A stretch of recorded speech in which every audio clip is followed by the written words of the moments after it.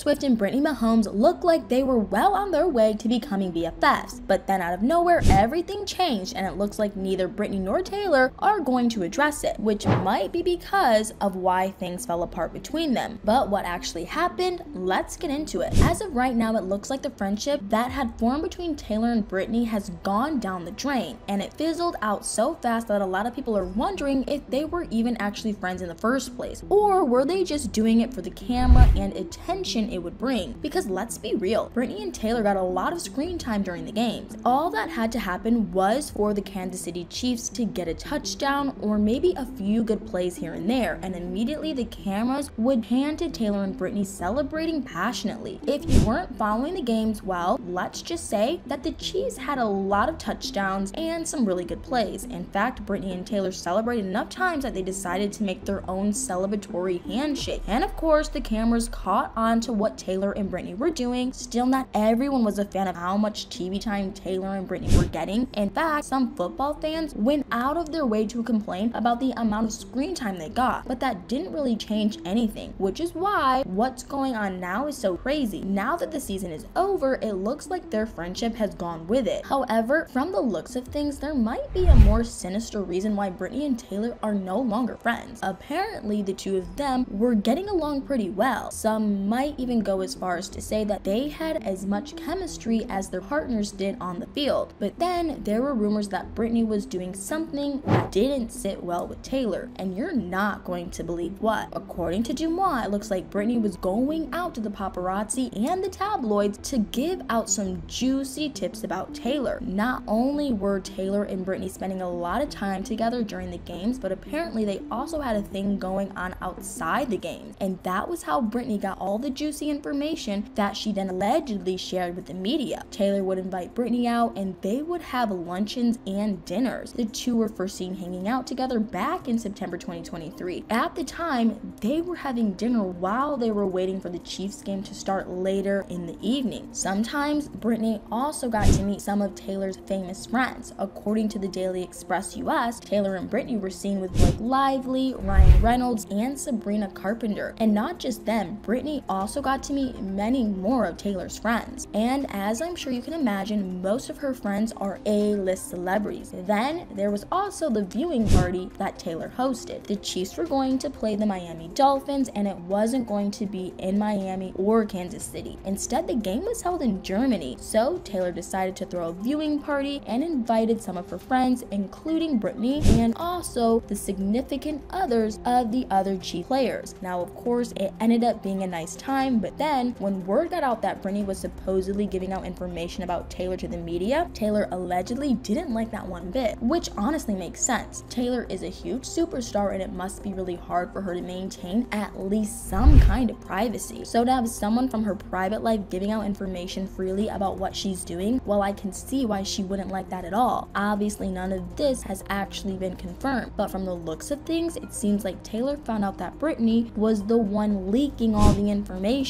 especially the stuff about her whereabouts and where she was going to be at a particular Chiefs game or not. And since then, Taylor has supposedly been pumping the brakes on her friendship with Brittany. But there's more. Another reason why people believe that Taylor might be distancing herself from Brittany is because Brittany might be trying too hard. If we're being honest, not a lot of people are in the same celebrity category as Taylor, and Brittany herself might be way down on the celebrity ladder. But now she has a direct connection with Taylor thanks to Travis Kelce and the Chiefs, and some people are saying that she is trying really hard to get on the same level as Taylor, even going as far as copying her style, and it's supposedly getting to the point where Taylor wants to put some distance between them. According to Newsweek, Brittany's game day outfits were looking more Taylor-esque with each passing game day. Now, not a lot of people took too kindly to this change, and when Brittany posted a picture of herself on one particular game day, well, let's just say a lot of the comments were not so positive about Brittany's new fashion choices. Then again, some people didn't think that this was really an issue, because if we're being honest, a lot of fashion is inspired by others, and if Brittany was getting inspired by Taylor, then that's not really a bad thing at all. There were also more rumors around Taylor's birthday in December. She threw a lavish birthday party in New York at the box, and of course, she invited many of her friends. Now, some people were absent, like Travis, for example, but then Travis had a practice that he couldn't miss, so everyone understood why he couldn't be there. But what's strange is that it doesn't look like anybody really related to the Chiefs made it to the party, including Brittany. You'd expect Brittany to be there considering that's who Taylor has been the closest with aside from Travis. But Brittany was nowhere to be seen, so this just fueled the rumors that Taylor and Brittany were on the rocks. And then to make things look even worse, it doesn't seem like Brittany gave a shout out to Taylor on her birthday, so it just doesn't look like they're on the best of terms right now. Then again, they have since been seen hanging out together again, and on February 2nd, Brittany defended Taylor in her Instagram stories. She made it clear that she didn't think that Taylor ruined football, so maybe they're back to being friends now. But what do you guys think? Do you think Taylor and Brittany are actually close? Or are they just being cordial with each other because of their significant others having to play together? Let me know what you think in the comments below.